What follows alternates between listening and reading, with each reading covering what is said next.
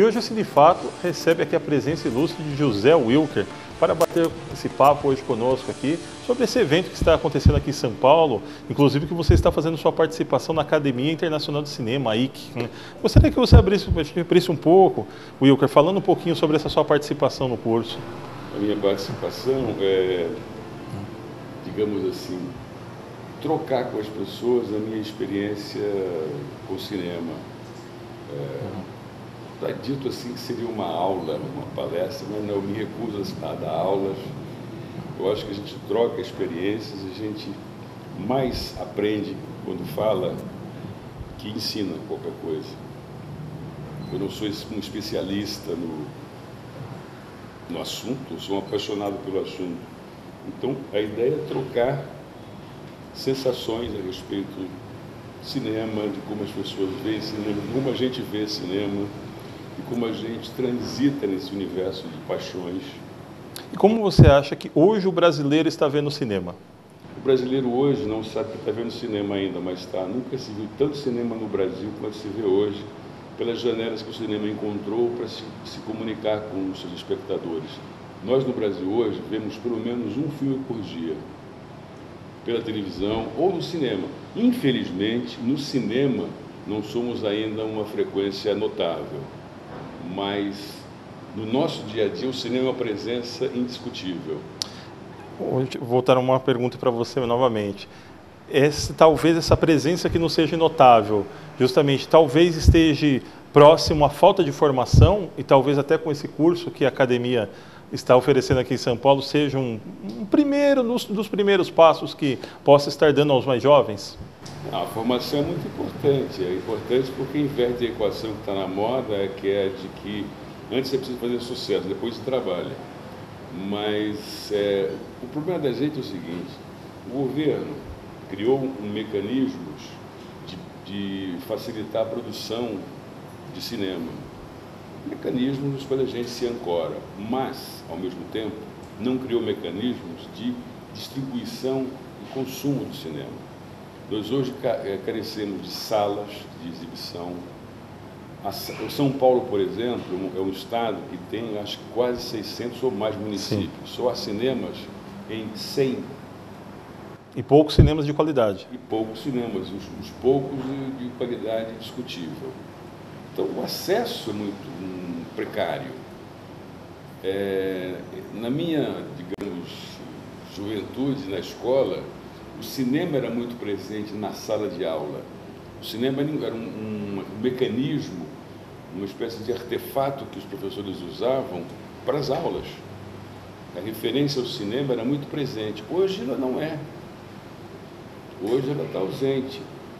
Não há um estímulo muito claro, muito palpável, muito palpável de, de, de para provocar desejo de consumir cinema.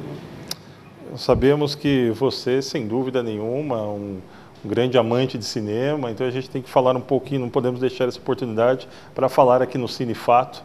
Um pouquinho também, o que, que você andou produzindo, dirigindo recentemente? Nós poderíamos eu fiz o Hora a Vez de Augusto Matraga como ator e produzi, dirigi e fiz como ator o Giovanni Prota, que deve ser, deve ser lançado é, agosto desse ano. Como é, é esse mecanismo, justamente, uma pergunta que eu sempre faço aos nossos entrevistados aqui, que atuam e dirigem. Como esse mecanismo? Você tem que ter suporte das pessoas ao seu redor. Só é possível você fazer esse tipo de trabalho se você está cercado por uma equipe que te dá suporte, que é harmônica. Não há cinema feito por uma pessoa só. Tem, tem quem seja capaz. Eu não sou. Eu invejo, acho maravilhoso o cara que é capaz de fazer isso. Eu não sou. Aliás, eu prefiro não ser, porque eu acho fascinante essa, essa atividade feita em conjunto, essa que não se realiza quando um mínimo, mínimo, mínimo, mínimo é, ofício não está bem realizado. Se de repente um contra-regra, um assistente de câmera número 5 não cumpre seu papel, não sai nada na tela. Uma atividade de equipe, atividade de conjunto. E eu me senti muito bem nesse sentido, porque muito cercado por uma equipe técnica e uma equipe artística que era muito boa, que eu conhecia bastante, que me conhecia bastante e que estava lá, atenta, me dando suporte. Se eu tivesse sozinho, seria impossível. Na sua opinião, quem é a grande revelação hoje como diretor dentro do cinema nacional? Eu acho o Beto Brant, pessoal de Recife. Internacional? Internacional. Grande revelação. Eu gosto, assim, indistintamente dos orientais, dos indianos, é, gosto é, Hou Xiaoshen, Simon Liang, Buddhadeb Das Gupta, é, gosto da Sofia Coppola. Sim. É, tem muita gente, só que no Nova Brasil, surgindo. Só que no Brasil a gente lançou nos últimos anos quase 200 novos diretores. Muita gente. Com certeza. Nós, já que nós acabamos de falar sobre cinema internacional, é, gostaria de abordar uma questão aí que você é, já prevalece com muita propriedade, que é o Oscar, que nós estamos próximos aí. Você acha que nós vamos ter alguma surpresa? Eu gostaria que a gente tivesse uma surpresa. O ano passado você acha que teve, particularmente? Não, não, não muito, né? Muito. Eu gostaria. Esse ano é um ano, é um ano mediano, sabe? É um ano assim. Não tem nenhuma coisa. Sim, assim, nenhuma superprodução. Nada que tenha se disparado. Sim. Os filmes são medianos, todos Sim. eles. Então é mais difícil, quer dizer, você dizer, ah, esse é o filme. Eu diria que tem um filme que é o filme. Qual que é? O artista. Puxa. Porque é uma coisa meio paradoxal, meio maluca. No ano dos, do, da três dimensões, no ano da técnica, vem um filme preto e branco e mudo. Retrô, inclusive. A novidade é um filme preto É uma homenagem ao artista. Não, é uma novidade. E a novidade, sabe por quê? Porque de repente os caras se apresentam com conteúdo. Nós se apresentam com, com, com densidade. E é que vem uma novidade. O cinema, tá, tá care- o cinema esse do Oscar está carecendo de densidade, está carecendo de conteúdo e está um pouco pendurado, está um pouco submerso apuro técnico fantástico. Você vai ver o filme do Scorsese, é sensacional, belíssimo, mas é só. Você que sempre está por lá, é, dá para definir para a gente como que é a cabeça do pessoal por lá, o pessoal da academia que justamente julga esses filmes? O pessoal vota no emprego, só. O pessoal não vota na qualidade. Se eventualmente o emprego e a qualidade vierem juntos, que maravilha. Mas neguinho vota no emprego. O Oscar é uma festa de. de- de, é, as pessoas se auto-homenageiam. Uma vez por ano, o neguinho se junta numa festa para comemorar o bom ano que viveu. O pessoal viveu um bom ano e comemora. Não é muito um, um encontro da busca da qualidade. É um encontro, é uma festa de fim de ano.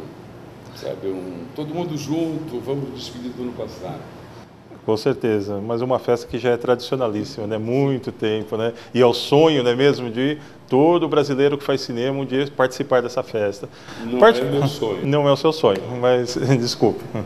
É, não é de todos, eu sou de todos, hein, pessoal? Não é.